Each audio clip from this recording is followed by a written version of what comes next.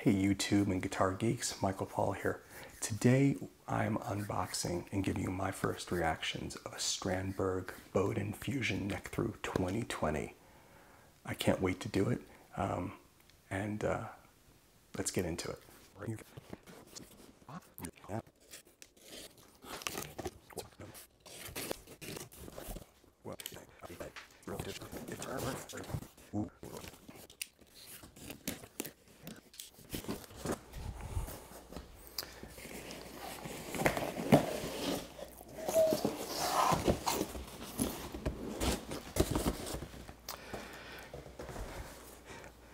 So, this is a lot smaller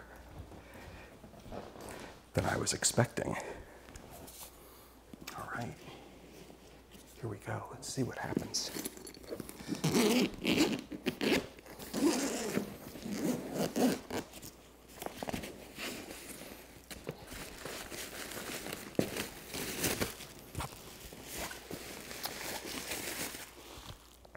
Are you ready? I don't know if I'm ready. I'm ready. I'm totally ready.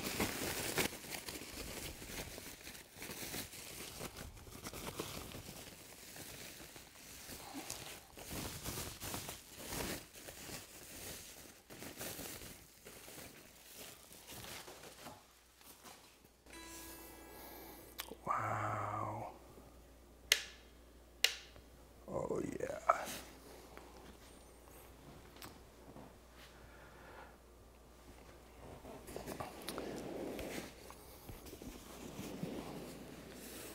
Let's turn that around.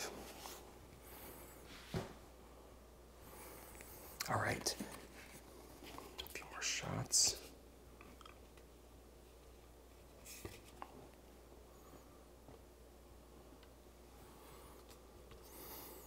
Okay, we're going to get to into a second.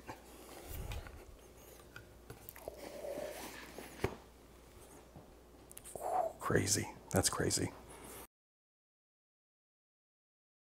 All right, let's take a look at the case. Uh, the case I really like. It's uh, not too big. It's it's surprisingly small. I mean, the guitar is small, but the case uh, it almost looks smaller in the case. I don't know what that means, but it kind of does. It feels like that. Um, really nice padding, if you can see in here.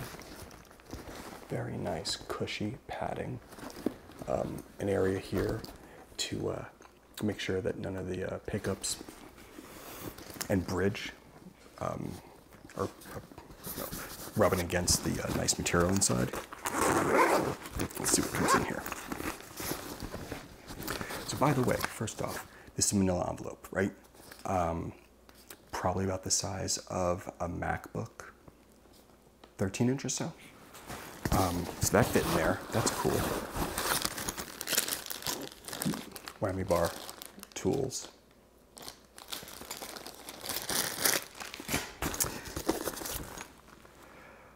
Uh, ah, first in, in instructions on how to attach the uh, arm. I don't know if you can see that with the light. How to attach the tremolo arm. That's helpful. Little plug for D'Addario strings. I love D'Addario strings actually. I've used their 110s for I can't even tell you how long. As long as I've been playing guitar. I went to nines, but I break nines, so as well do it. Yeah, there's nice, there's uh, some nice compartments in here. At least five right up here, and then the whole, the whole uh, open space, and then in here, um, there's a nice little mesh. I don't know if you can see some of the stuff in there. see how professional this video is? Uh, not. But uh, yeah, pretty good. Pretty good amount of stuff fits in there. Now let's get to the guitar.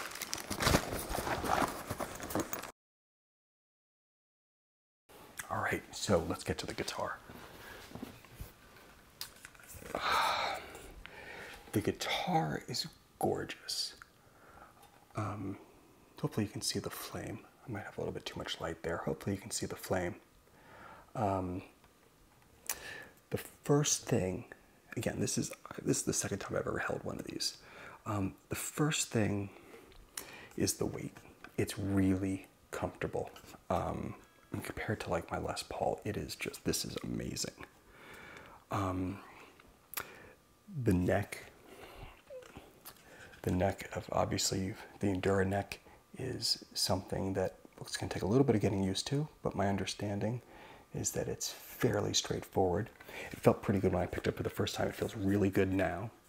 Um, this cutaway, by the way, on the neck through is just so good.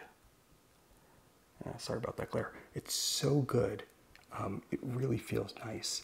And as you can see, the neck through is beautiful. The other thing I really like, I like the top. I don't know if many people talk about that aesthetic, but I really like this, um, just kind of the curvature of this. But maybe the best part about this is the backside, where this really, this heel helps kind of keep your hand on the fretboard.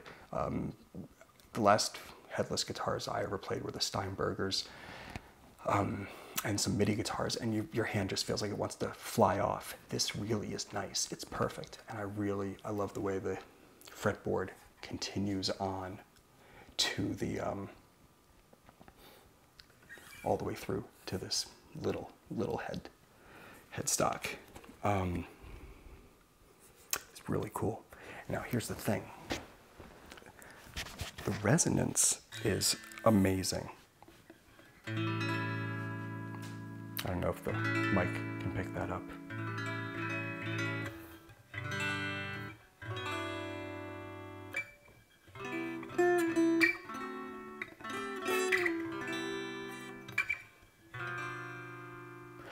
It's, it's got a really nice sound. I'm really looking forward to playing this. All right. Well, thanks for watching today. Um, I'm really, I was really excited to bring this to you guys. Um, next video is going to be me playing it. I'm excited about the HSX circuit and splitting the coils and seeing how that sounds and how um, it works within this system. Um, if you like this video, please hit subscribe and tune in for the next video where I'll be playing this guy and putting it through its paces. Ciao for now.